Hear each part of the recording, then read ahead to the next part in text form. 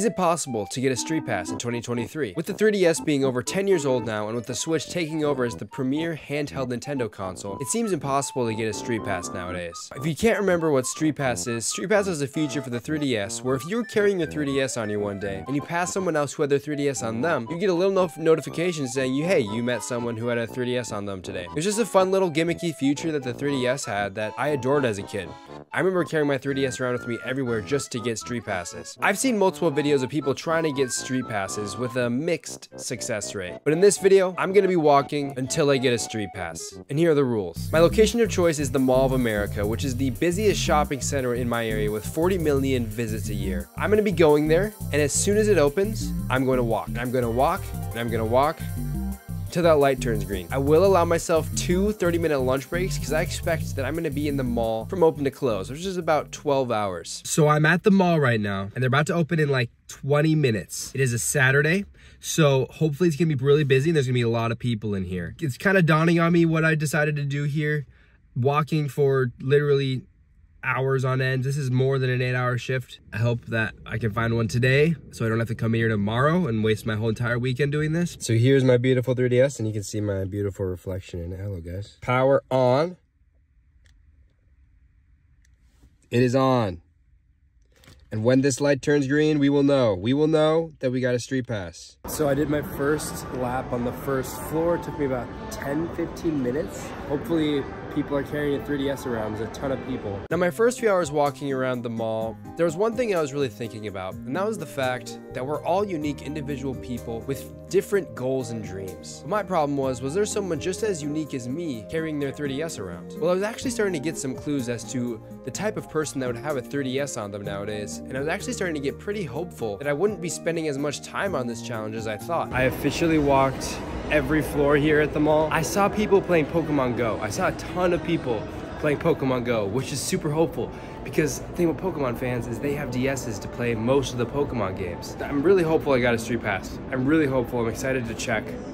We'll check at lunch. I still want to keep walking just to be safe. All right, so I've been walking for about an hour and a half. At least 70 people playing Pokemon Go, man. There's literally like a section there's like a balcony with like 30 people just sitting there playing Pokemon Go. In about two hours, I'm gonna be checking my 3DS. I think I got this. I think it's gonna be a lot easier than I thought. All of these people playing Pokemon. All of them. I swear all of them are playing. In about an hour and a half, I'm gonna get food and then that's when I'm gonna check if I got any street passes. So I've officially been here four hours and I'm taking my first break. Holy crap, that feels great. Question is, did I get a street pass? I literally saw someone with a DS bag. Let's just check and see if I got the street pass. Here is the DS. All right. Will it have a street pass? Will it have one? We got it, dude. We got it. Holy crap. That is crazy. That is insane. We got the street pass. That is unreal. Wow. We're done.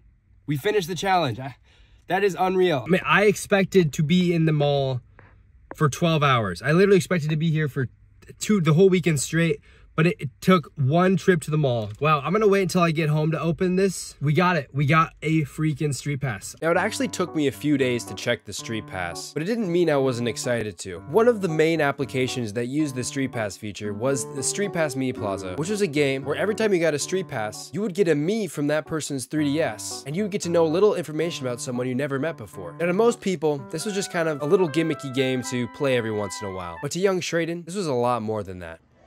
Would you look at that? All 1,737 of the people I've met. Oh, dude, Amon? Amon was sick.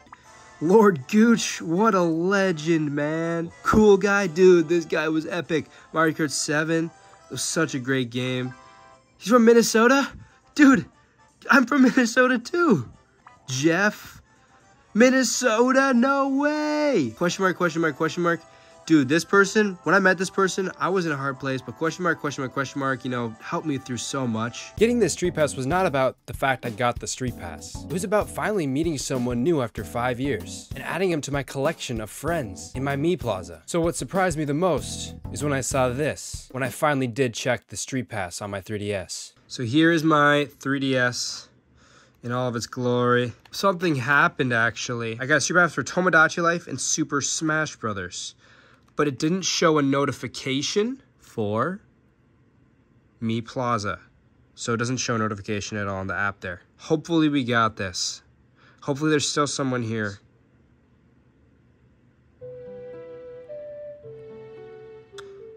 Dang. That's really disappointing. So we didn't get a street pass in Mii Plaza, but we did get one in Tomodachi Life. So we're gonna check that out. All right, so we did end up, we did get a street pass, but it wasn't a new friend, which is super disappointing. After finally checking that street pass, I was devastated. I walked for four hours and over eight miles to get that first street pass. And the fact that I didn't get someone in my Mii Plaza just broke me. I thought I'd just give up. I got the street pass. I can make a simple little YouTube video about in fact, I got a street pass in 2023. Hooray for me. Even though it can make a good video, it wasn't good enough for me. It wasn't good enough for what I wanted. And right before I was about to give up, I decided to look again one more time at all the Mii's I've collected in my Mii Plaza. All my 1,700 friends. And they reminded me of something. This challenge wasn't about the video. This challenge wasn't about making a good thumbnail and title. This challenge was about making a new friend. So I decided to do the hard thing. So the next Saturday that came up, I got ready. I prepared and I headed back to the mall. Now this time there was one key difference the first time I went to the mall. And that was the fact that instead of keeping my 3DS in my backpack, I would keep my 3DS in my pocket and I would consistently check if I got a street pass so that I could just leave right after I got it. And so when I got to the mall, I started walking again. And this time it was definitely a lot more boring than the first because I already saw all the sights to see at the mall. I was so bored, but it didn't get me. I was determined. I was determined to get this street pass. I walked and I walked until my heels burned. I walked even though my body didn't want me to. I walked. And I kept checking my 3DS. Every second I could, I checked my 3DS. I kept checking and checking and checking.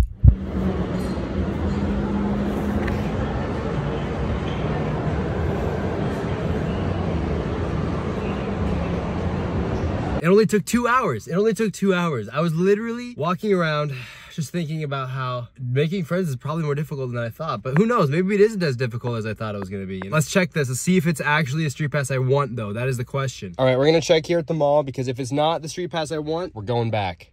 It's been two hours only since I've been here. Oh my gosh. It is, it is. The green dot right there. Holy crap. Guys, this is unbelievable.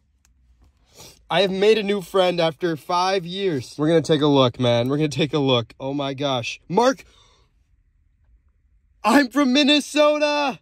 No freaking way, dude. Now that I finally got the street pass I wanted, now that I finally have a new Mii to add to my street pass plaza and a new friend to spend time with, my life just felt complete.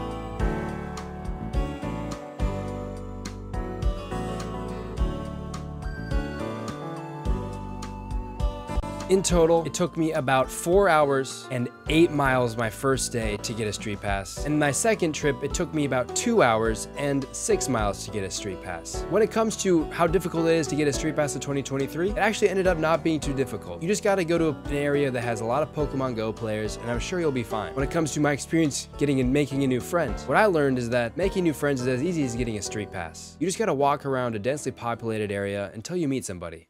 Thank you everybody who tuned in this far into the video. I hope that if you enjoyed this video, you consider subscribing because you'll keep getting similar videos to this. So why not? Hey, like you'll keep getting videos just as entertaining as this one if you enjoyed it. If you didn't enjoy it, then I, then don't subscribe. That's fine. Thank you for watching. Genuinely appreciate it. This video took me a bit to make. Have a great day.